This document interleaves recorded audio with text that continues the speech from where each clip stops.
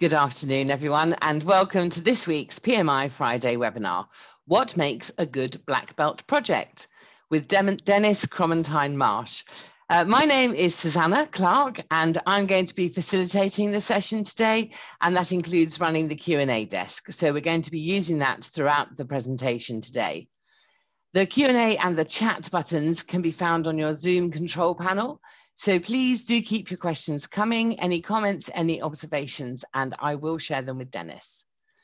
Today's webinar is being recorded and we're going to send you um, a link via email early next week to the full recording of both the audio and the presentation that you'll see today. As usual, we are also broadcasting live on Facebook and LinkedIn. So to those of you who are joining us on those streams, we welcome you to be able to participate in future in any polls that we run um, to receive the recording via email. And also, if you want to make future suggestions for future topics we might cover, then please do register for the webinars at pmi.co.uk forward slash webinars. Um, we'll send all registered participants a short voice the customer survey at the end of the session today. And as always, we're really grateful for your feedback um, also, any suggestions you have for future topics, um, I always check these out and I'm really interested to hear what you have to say. And that's really how we design our schedule around you. So please do let us know what you'd like us to cover. Thank you everyone for your continued support. And now I'd like to hand over to Dennis. Thank you. Right. Thank you, Susanna. Uh, good afternoon, everybody. How lovely to see so many of you on this uh, beautiful Friday afternoon here uh, on this webinar and uh, we'll have a lot of fun together for the next uh, hour or so. So, um, really interesting question. Susanna you know, said to me, you know, what makes a good black belt project? And I thought, actually, I'm not, I'm not sure. I have to think about that. So, um, hopefully today I'm going to share some insights with you from having, you know, done black belt project myself, coached black belt projects, or you know, um, assessed black belt projects for the last 20 years.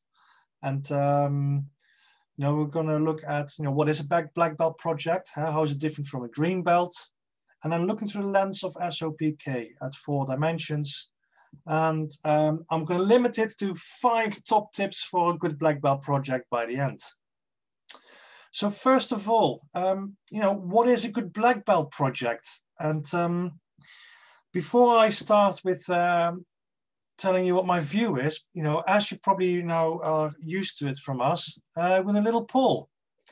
And the poll is as follows. You know, at the moment in your own organization, how are you getting on with black belt projects? And there's four answers. Choose one of them. So answer one, we really struggle to deliver effective black belt projects. Answer two, we haven't done any black belt projects yet. Number three, we've done a few, on number four, you are absolutely amazing and you are reaping lots of the rewards. So that polling is launched now. Um, so please do cast your vote and um, looking forward to seeing what our audience says for this. I'm sure you've seen a variety of different standards across the years. 20 years, Dennis, that's quite some time.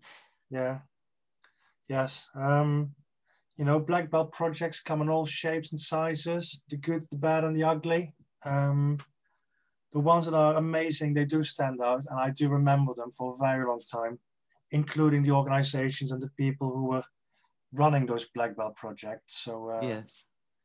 So yes. Super. Well, I think that's it. So I'm going to, if you've got a vote to cast, please cast it now, and then I will close the polling and share it with everybody.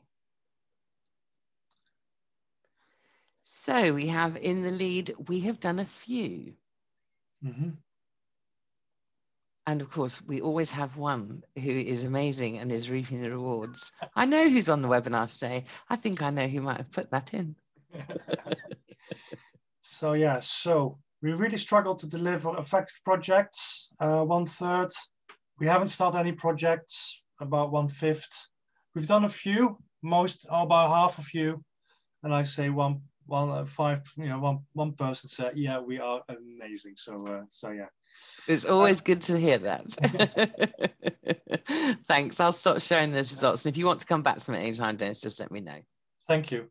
So yeah, so the people who have done a few or we really struggle, feel free to stick in the chat window some of your challenges and Susanna will then read your challenges because of course what I'm interested in, what is actually getting in the way of you doing an effective an effective uh, black belt project that gives you the results. And for the person who said we are amazing, please type in the chat window, you know, what is it about your black belt project that you're doing in your organization that makes them truly successful? So please, you know, uh, st stick some some um, some things in the chat for that. So, what is a black belt project? Now, first of all, some misconceptions I want to to to to highlight. And sometimes, you know, a black belt project can be seen as just, you know, it's a um, a green belt project with go faster stripes, yeah, bit more snazzy, bit bigger, a bit more complex, some more cool statistics using Minitab, uh, maybe a bit longer um, or a bit more complex. And yes, a black belt project can have those attributes, but I want to go beyond that. There are more things that actually make it a good black belt project. By the way, lovely Suzuki Ignis goes faster stripes on the right hand side. Um, well, first of all, top tip if you haven't seen Sean's webinar from a few weeks ago, do go and watch it. Uh, in there, Sean talks about what makes a good green belt project. And whenever I look at a black belt project, what always stands out for me is that sometimes people are, um, they have challenges with the basics of, of the green belt project content. So the green belt training and they're more comfortable with the black belt stuff, but actually they don't get the green belt basics just quite right. So these nine top tips that came here out of the green belt, they are still hold true for a black belt as well. And you can't go far wrong with doing a very good green belt project.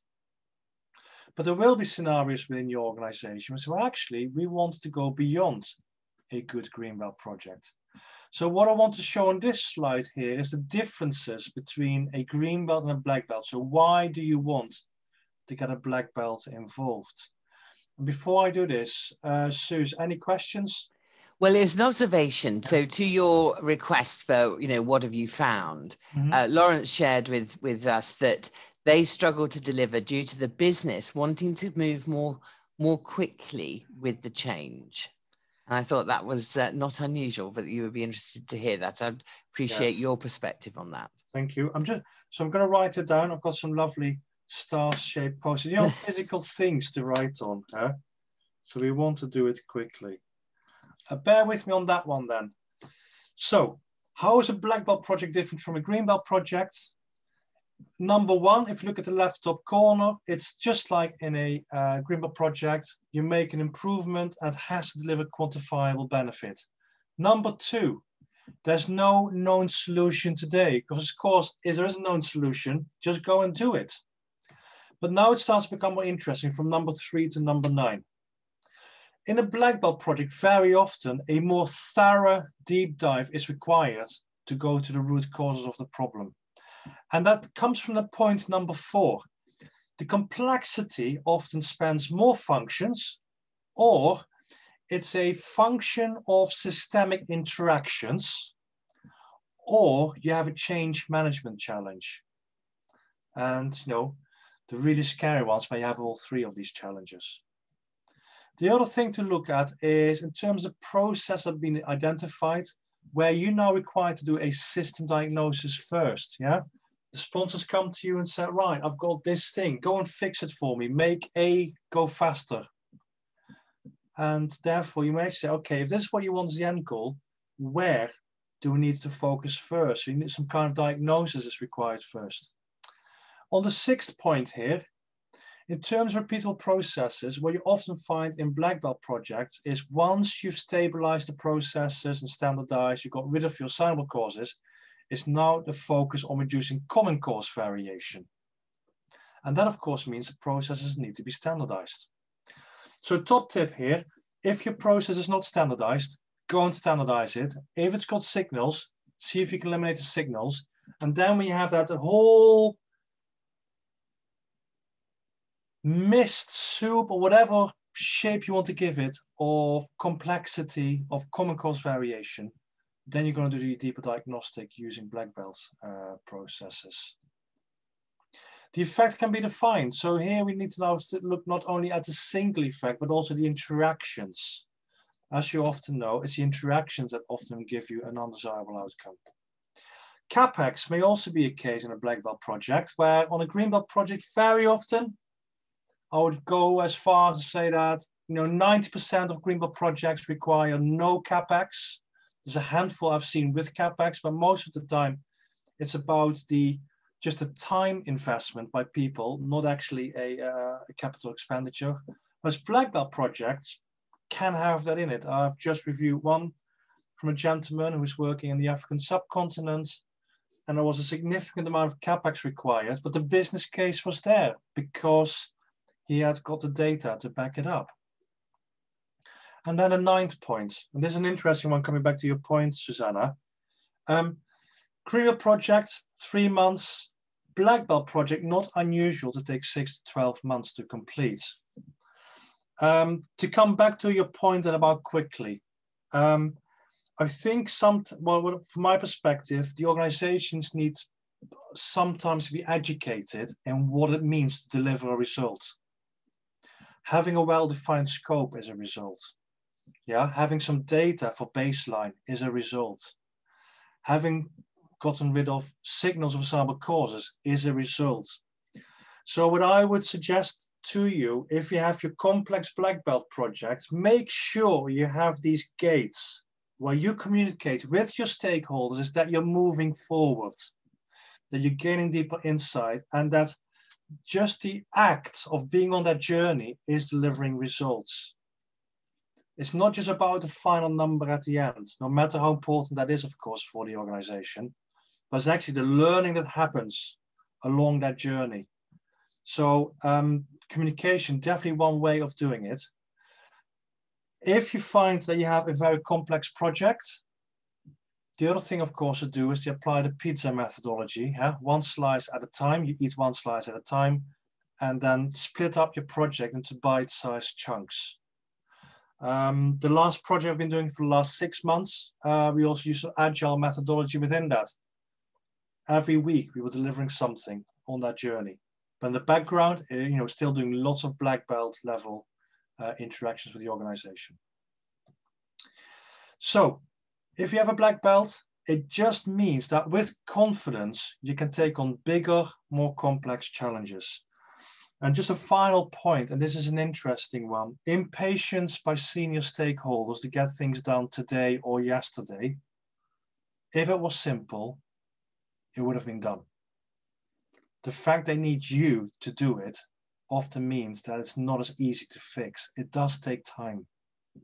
Um, so back to managing the stakeholder on that. And I hope that gives you an answer, but do let me know in the chat if you've got some more questions around this. So here's a scenario. Here, first of all, greenbelt scenario, yeah? So you've, you've uh, defined the process in your project, you have standardized it, metrics are in place, you respond appropriately. You have also now um, some signals with cyber causes and you consistently remove them. That is a fantastic Greenbelt project. And I've seen major, major successes just huh, by doing those three things. Now the Black Belt project goes beyond that. And the Black Belt project actually says that where the process is not capable of meeting customer requirements due to complex and excessive variation in your process, common cause variation, you now need to have that black belt scope in there to do that deep dive again. And not just to deal with the data side, but also with more complex change management issues in the organization, and especially the management of your stakeholders. Now, the other challenge you're going to find on a black belt project, and therefore what makes a good black belt project, is to play this little game called Where's Wally? Now here's a very simple formula, and for the math mathematicians amongst us, y is a function of x. What that means is there's lots of variables in the organization and all of them have an impact on the outcome. Now the challenge for a good black belt project is to find those axes, huh, those predictors of the result that actually give you the biggest bang for your buck. And of course you notice that the variable number 42 is in bold, uh, being the meaning to life, the universe and everything. But not just that, it's not just about finding these single factors. A really good black belt project also understands the interaction in between. For example, you know, I love coffee. I just made myself a lovely coffee in my thermos here. I add sugar in it. Coffee does not taste sweet. Or I have coffee, I add a spoon in it, it still doesn't taste sweet. But the moment I add sugar in it and I stir my spoon, then I get sweet coffee. Now, some of you may go, yuck, I don't like sweet coffee. Yeah, but as an interaction, of course, that's how we often achieve a result in real life. It's the interaction between the various components. So a good black belt project not only finds the vital axis, but also how they influence each other. So then the question, of course, is if that's what you want to be able to do, how, what does it mean for your black belts?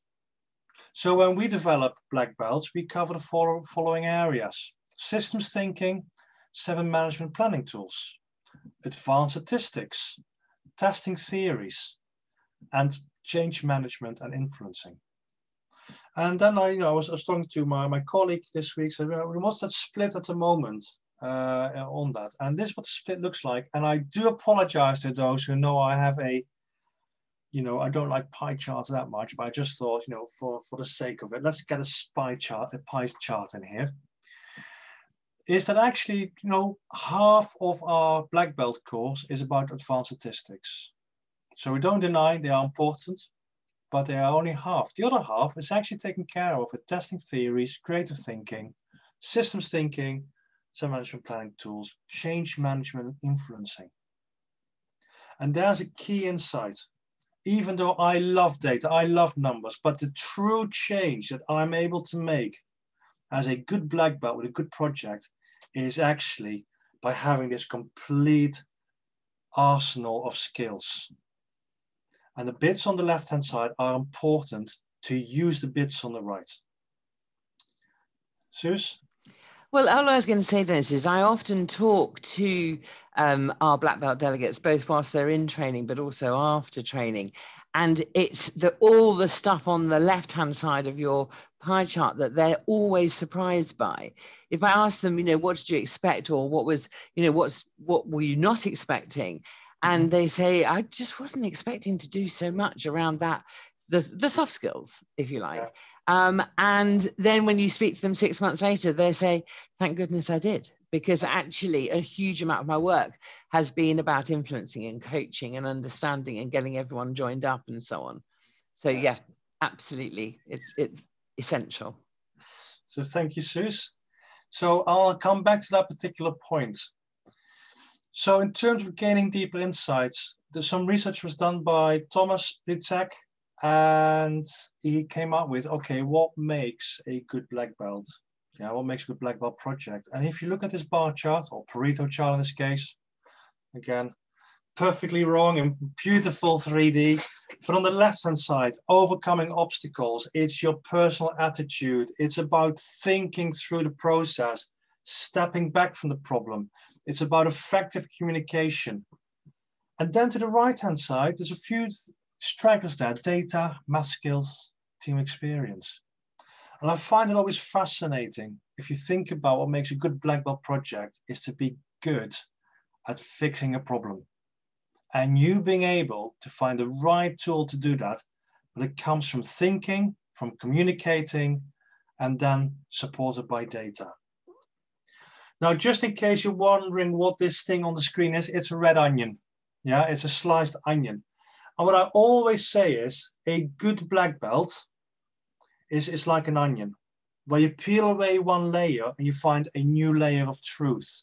You peel away another layer and you find some new insights, some new data, some new challenges.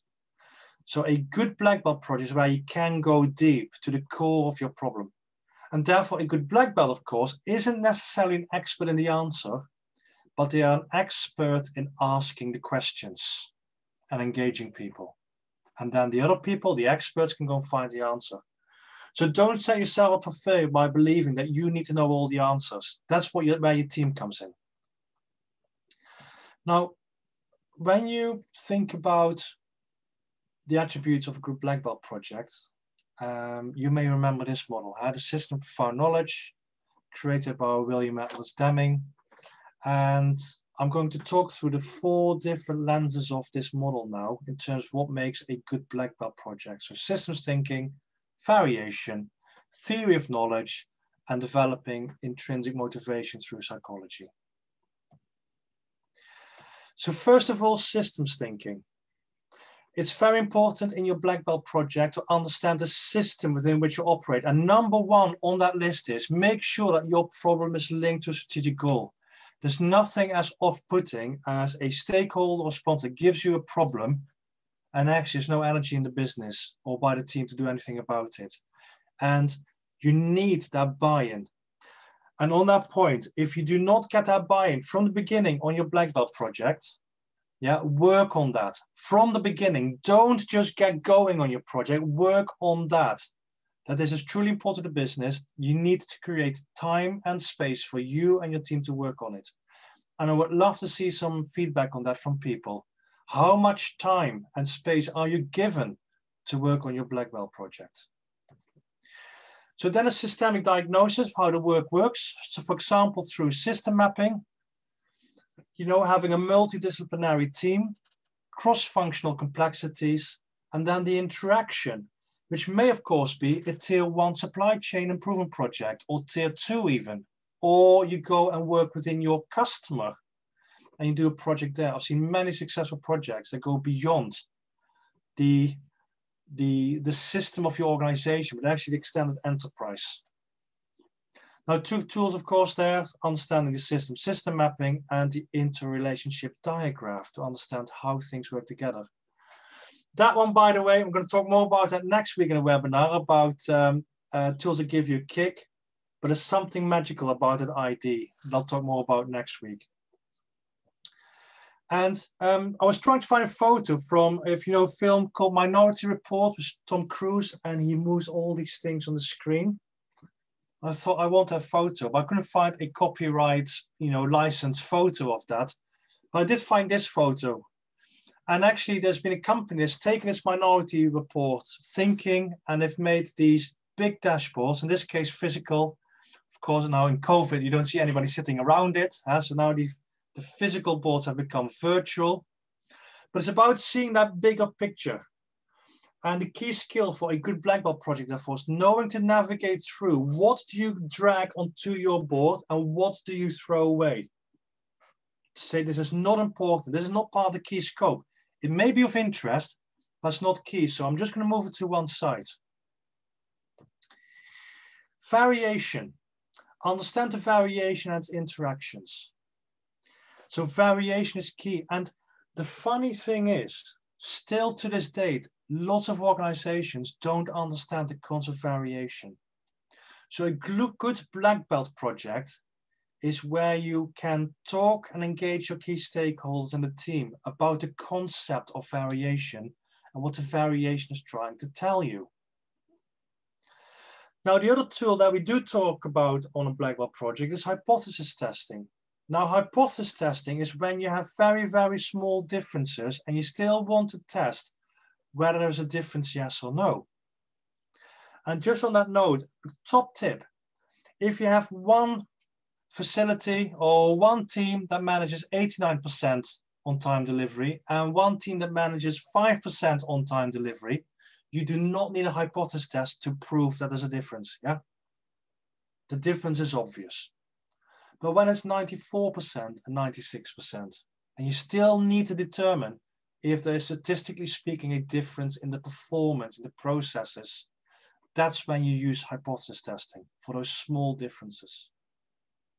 Took me years to realize that.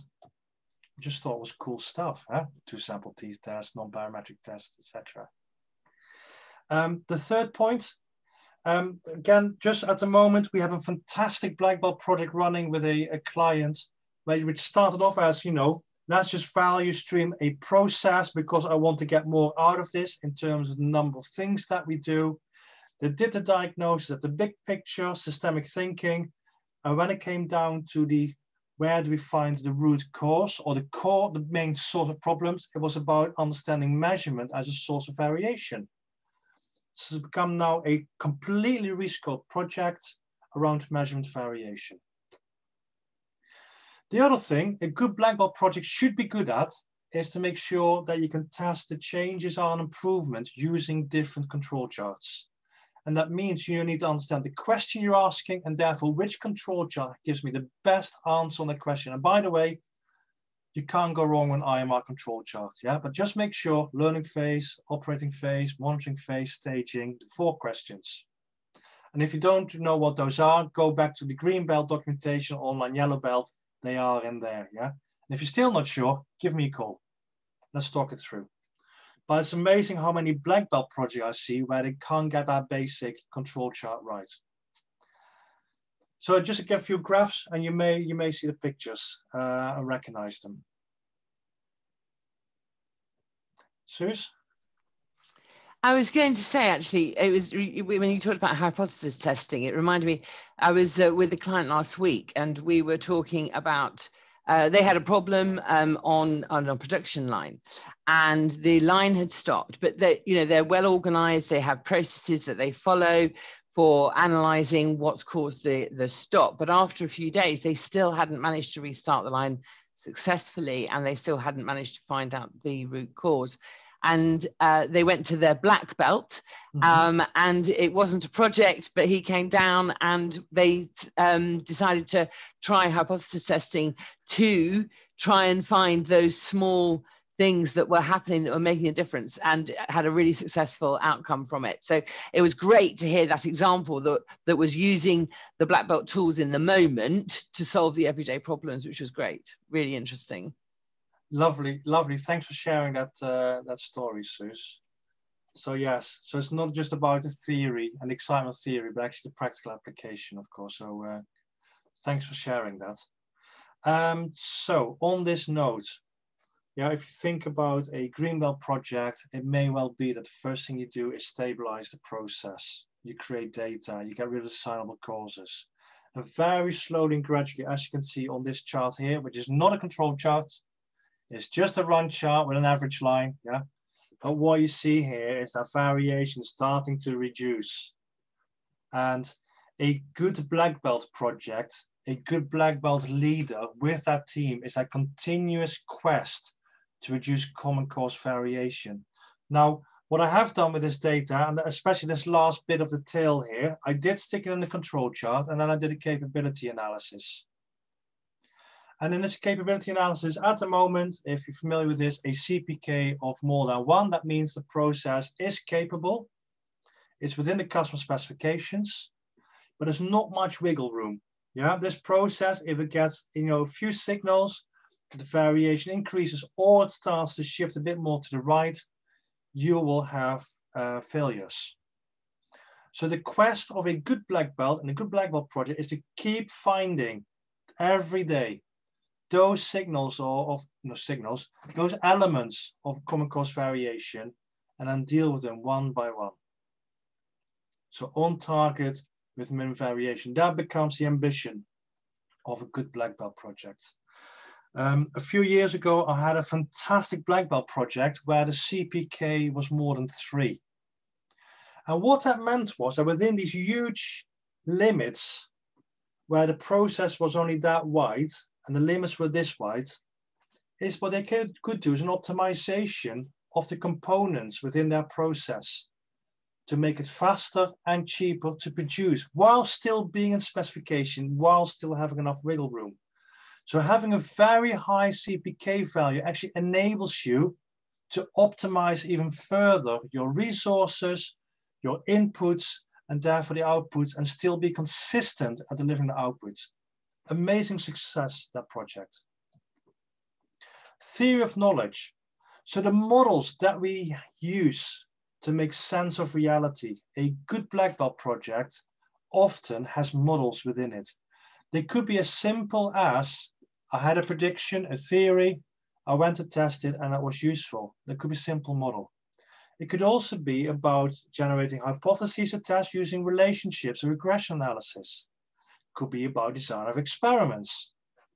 By the way, do not do design of experiments, which is not the panacea to all ills, until you've done regression analysis, yeah, on the single parameters.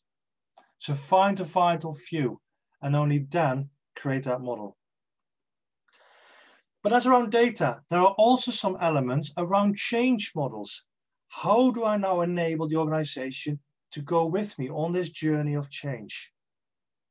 And finally, a model for planning the project. So think about the seven planning and management tools. Absolutely essential if you've been given a problem, but you're not quite sure how to execute the project. So you can think about these three dimensions here. Now, I could not uh, ignore the current world situation. I found these lovely models here about the, uh, in this case, it's about the Oxford uh, vaccine, um, where I'm playing, uh, I'm playing a, a, very, very small part in this particular topic at the moment. Um, but here we have some models. They're trying to make sense of reality using models and using evidence and making predictions around this. Now, the last dimension of the system profound knowledge, psychology, it's not the least, one would argue is actually the most important. And the key thing, the key skill of a good black belt project is to get the most out of your people. I've just realized I put a lovely spelling mistake on there. Getting the most out of your your people. Yeah, ignore one of those yours there. Yeah. Um, so understand how people can be different. And there was one project recently where the team didn't want the black belt to come in. Yeah, the stakeholder said, come and help them. The team says, who are you? Go away, we're too busy.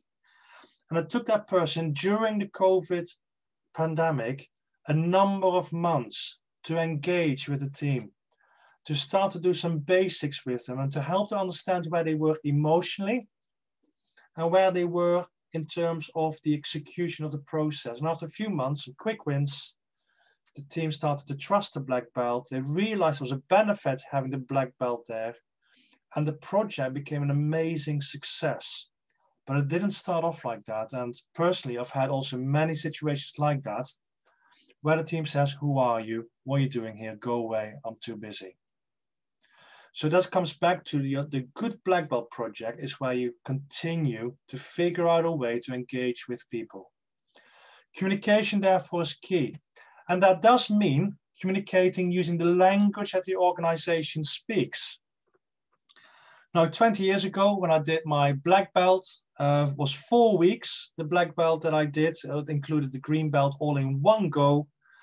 And I still remember that after three and a half weeks, the, the trainer at the time said to me, you know, by the way, you may encounter these things called people, but don't worry about it you just throw some p-values and chi-squared numbers at them, they will understand. So after four weeks of brainwashing, that's what we did. Guess what? We got nowhere.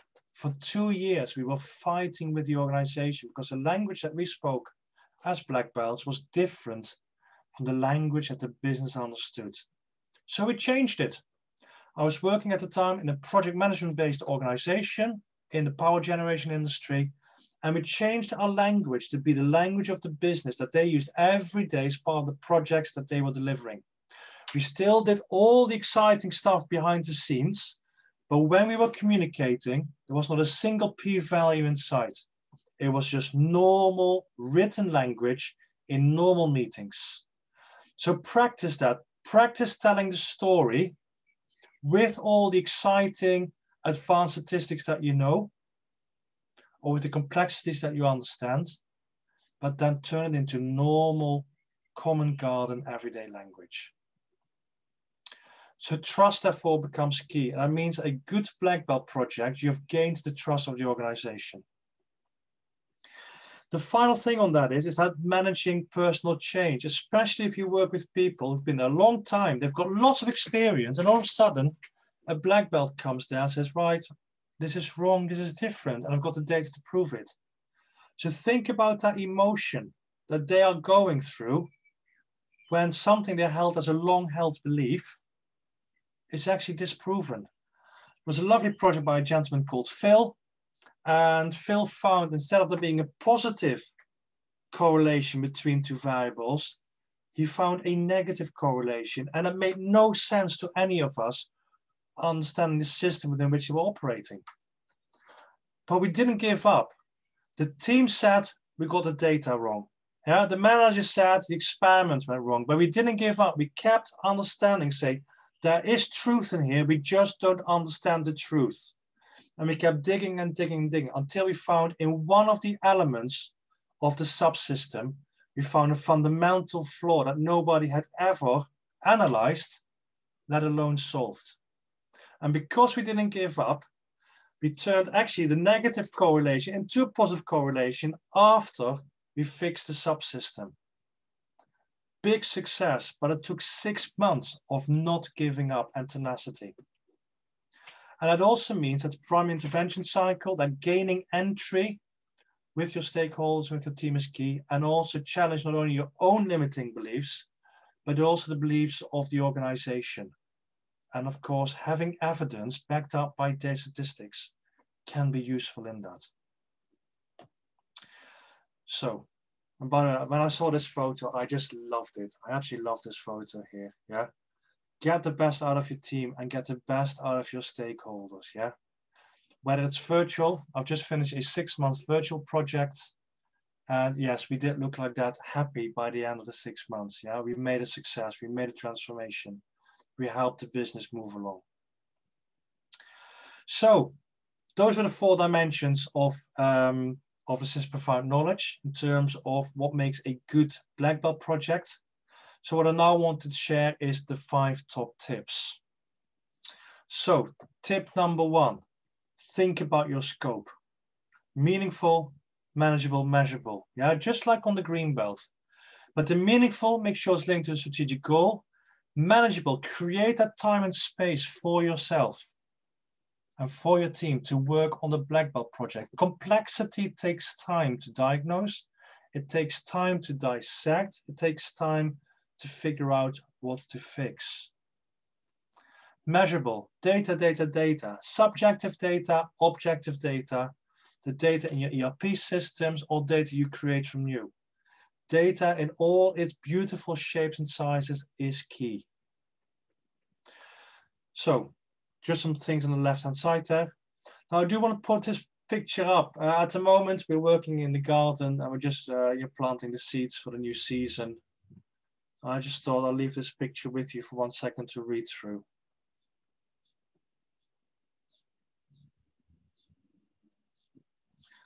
So yeah, key, you know, top tip with tomatoes, water them, water them a lot. You never can water tomatoes enough, in my experience anyway, at least uh, when they are on the greenhouse here uh, in, the, in the British climate when it gets warm. Keep watering them. So top tip number two, be good at those basics. Do not forget about your basics. Yeah, follow the improvement cycle bit by bit and have those proper gate reviews with your sponsors. Um, the other key difference between a good green belt project and black belt project is often in a final phase of the improvement project. Implement, standardize, and review. Make sure they are completed. Make sure you've actually given the business something, say, hey, here's now that deliverable. Understand your data, yeah? And within that, only use those data which are useful. Um, you know, increasingly I work now with large organizations which have gigabytes, terabytes of data. And they produce every day millions of new pieces of data. And the question always is, is this data useful to answer the exam question? And then it always starts with basic. What was the question I'm trying to answer? So a good black belt project is where you define those uh, questions first like I said, be very, very good at the basic control charts and then challenge your organization. Where in our system is excessive variation causing problems? Now that's a fascinating statement because that means the organization must understand the concept of variation. That may mean that users black belt have to educate them. Especially if you work in an organization which has targets and just uses targets to drive performance, or last month was higher or lower than this month. I always use no bleep, Sherlock. Huh? There will always be a difference. The question is, what's the variation trying to tell us? Suze? I'm just going to do a cheeky plug. Um, Rich Seddon is delivering a uh, webinar on the 7th of May on big data. Now, we're going to be publishing our schedule for May next month. Uh, so um, if you're interested in big data, watch out for that date, 7th of May, with our very own Rich Seddon leading it. Thank you. My pleasure. And that's quite funny. I, I had a, a, a, great old discussion with the head of uh, mathematics, mathematics at the local university about big data. They were terribly excited about all the models they made. I just asked them that simple question, what are you trying to accomplish? And they couldn't answer it. So uh, we had a lovely, lovely discussion around Bayesian statistics, but they could not answer that basic question. So stick to the basics around the data as well. Number four, tell a good story. That may mean you summarize periodically in your projects, in the communication with your organization, and especially around what's been proven or disproven and when it's been a surprise. Look for out for surprises because the surprises are the aha moment in many projects. Point two that keep the story necessary and sufficient. And then that number three, that mantra, no surprises. Whenever I work with a client, that's the first thing I always say when we do the personal contracting. I will keep you updated on the good, the bad, and the ugly. The moment there's no communication, get concerned. Something's gone wrong. There may be something uncomfortable, but always face it. Face your problem, communicate it, and share it with the organization to see how you can fix it. Uh, I still remember, very memorable. I was a senior manager who was reporting into a central uh, chief of operations and they had done something in their local country and they had not informed the person at head office. And the person at head office, which was the sponsor of this project, went ballistic. Yeah. And unfortunately, that, that person said, Well, my country, my rules. And head office says, No, my company, my rules. But what they failed to do is to have this mantra of no surprises even if you do something you may get resistance to, still share it. So storytelling, yeah, and storytelling is like you know when you talk to a four-year-old or Disney film. Once upon a time there was a problem. Yeah, you fix the problem, you've beaten the baddie, you are the hero, and you live happily ever after. Yeah, it's that kind of storytelling. That's how you want to get a story across to your uh, to your audience. And that's what makes a really good black belt project. And then lastly, manage effective change. It's not about the tools, the tools. It's not about the stats. It's about taking your people in your organization on a journey of change. That's when you truly leave that legacy behind. Whatever it is you did, no matter how small, that's when you make a really, really great black belt project. So think about some of the, the, the tools and the methods they see on the left-hand side. Yeah.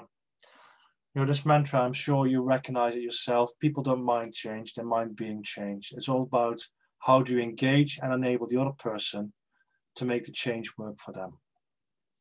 So those are my five top tips. So I'll now come to a summary.